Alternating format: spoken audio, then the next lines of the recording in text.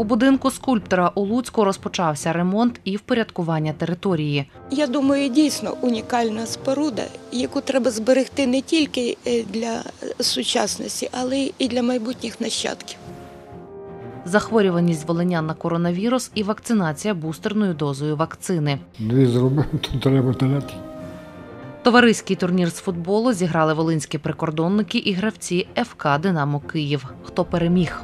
В спорті таке, що виходиш на поле, вони всі рівні.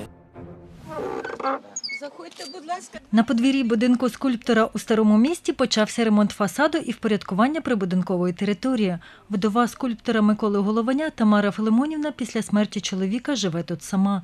Жінка розказує, що їхня родина працює над впорядкуванням спадщини, але аби капітально відремонтувати будівлю, потребує допомоги. За ці 40 років майстерня, звичайно, потребує і реставрації, і допомоги від влади, тому що Микола Микитович, будучи дуже талановитою, неосяжно в своєму злеті людиною, він не встиг ще це все зробити. Дещо природньо розрушається, дещо недороблене залишилося. Це дійсно унікальна споруда, яку треба зберегти не тільки е, для сучасності, але і для майбутніх нащадків. Зараз роблять перепис і реєстрацію робіт скульптора, прибирають подвір'я і задній дворик. З матеріалами допомагають друзі сім'ї голованів і благодійники. Воєнний стан він не дозволяє е, ну, Луцькій міській раді, органам місцевого самоврядування е, реалізовувати дуже багато як заходів, так і робіт, тому що всі рахунки вони є заблоковані.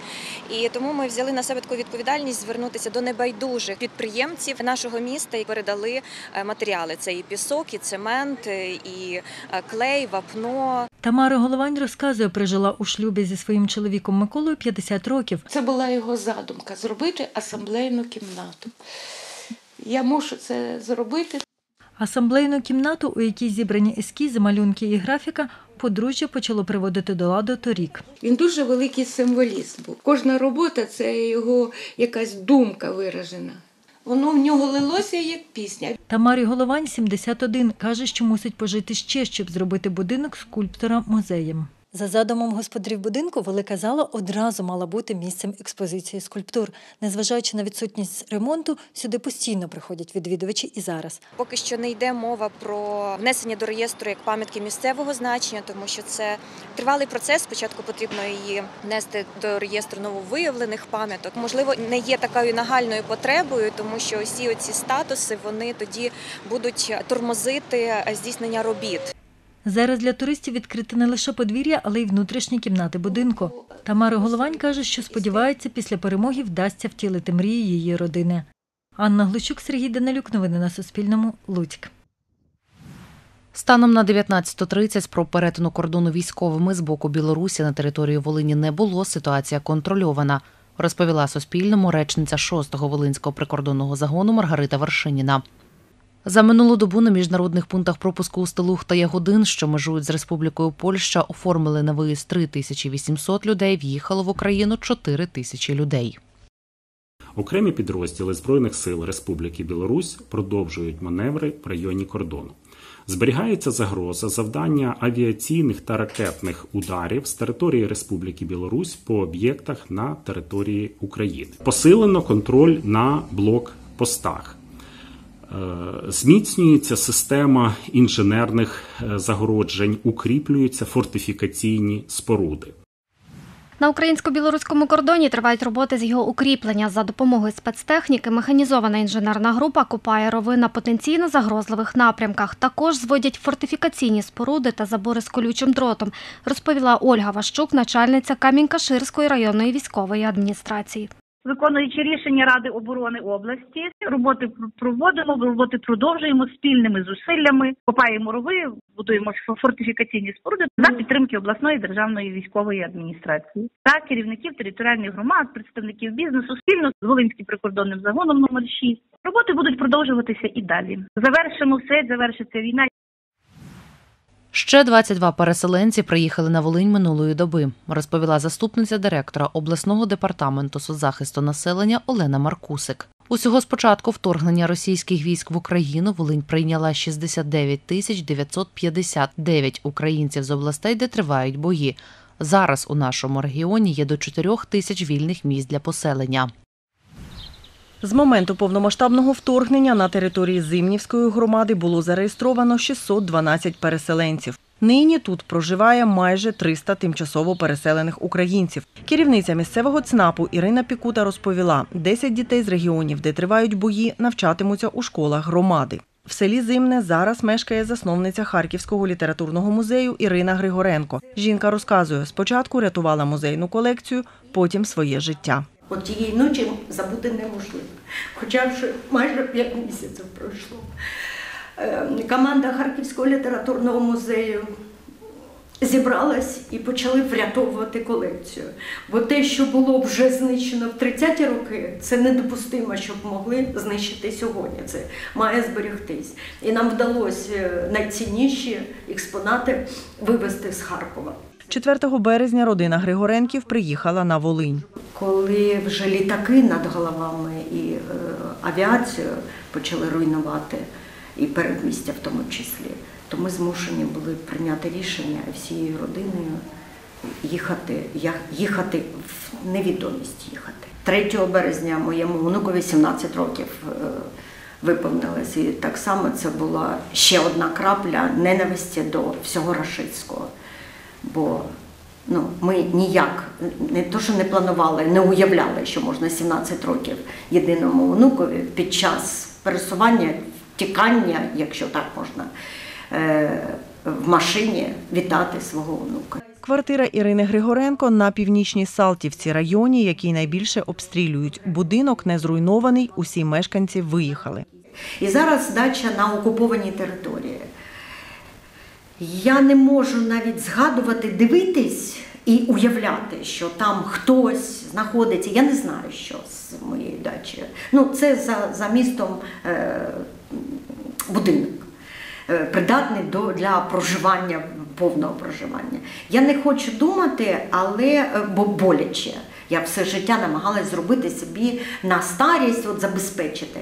Але при цьому от без цього можна жити. Головне, щоб, щоб жити із своїми близькими. Музейниця продовжує професійну діяльність в евакуації. 23 червня у Львові організувала виставку Харків залізобетон. Каже, на часі розповідати про українське і назавжди відмовитись від зв'язків з Росією. Ніяких стосунків культурних не може бути, бо це буде повторюватись, значить, через 20, через 30, через 50 років знову.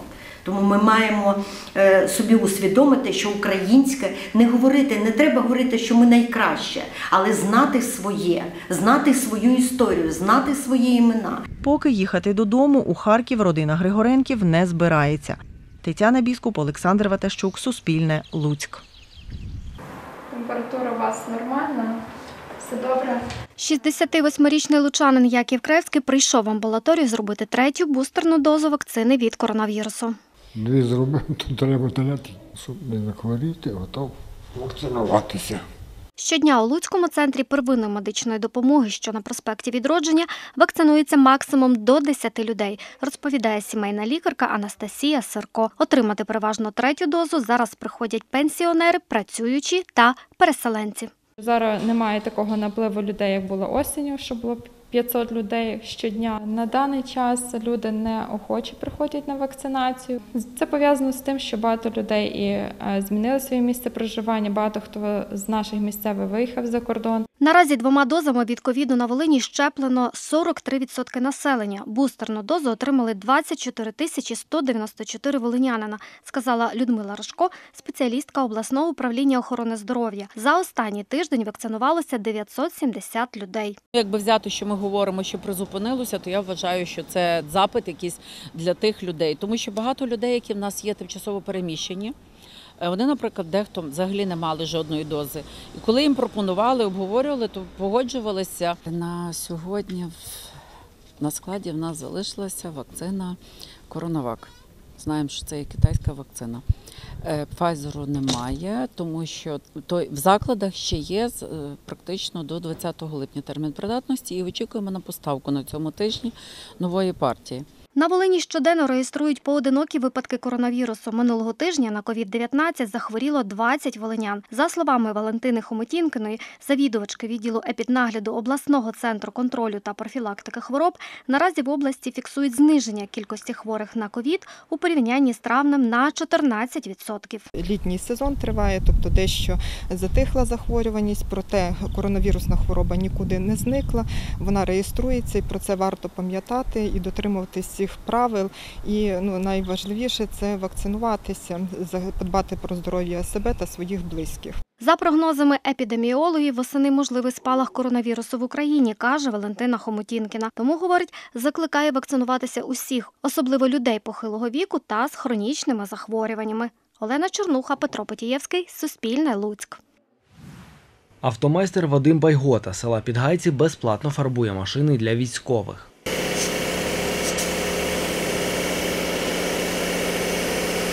Нині до нього приїхав військовослужбовець із Нововолинська. Зараз чоловік після участі в бойових діях на лікарняному. Я дізнався з Фейсбука, що Вадим фарбує автівки.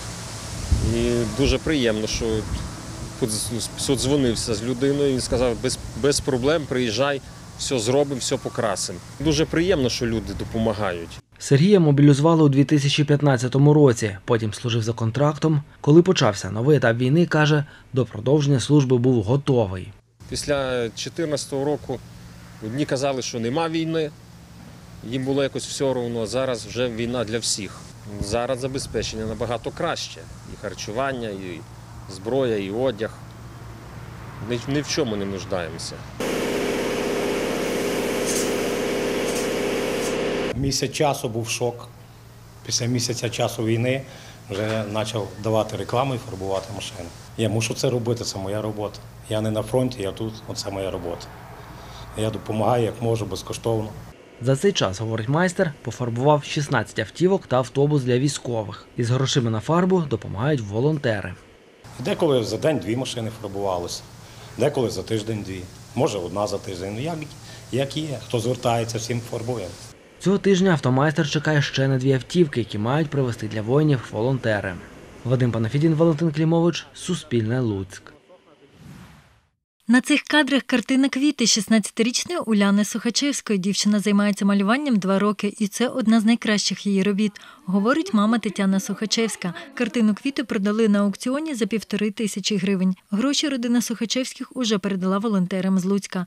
Ми виставили не просто картину, а картину, яка зайняла перше місце в міжнародному конкурсі. Подарували людині частичку сонця і любові. А гроші вони допоможуть нашим воїнам. Уляна показує інші картини, які намалювала в творчій студії. Є сонечко, є ще хмаринки, є тут сердечка, є корабель, а це називається море. Художниця Ольга Грицюк 10 років працює з людьми і дітьми з інвалідністю. Каже, спочатку вчить учнів розуміти, що таке олівець чи пензлик. З Уляною займається два роки. Каже, раніше дівчинка малювала лише чорним кольором. З моєї сторони, це перший досвід. Я не маю досвіду е, навчання саме таких діток з таким е, діагнозом. Я їй давала пробувати різні техніки. В неї є такі абстрактні малюнки і такі сміливі, що е, можливо, що я навіть внутрішньо до них не готова. Їй настільки треба дати волю самовираження, тому що соціум її упаковує в свої розуміння того, як має бути. Крім малювання, Уляна співає, ходить в театральну студію і вчиться у навчально-реабілітаційному центрі.